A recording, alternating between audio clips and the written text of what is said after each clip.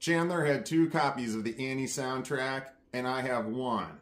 But he had the CDs, which means that he bought them both when he was an adult. I've got the album, then I got it when I was a child.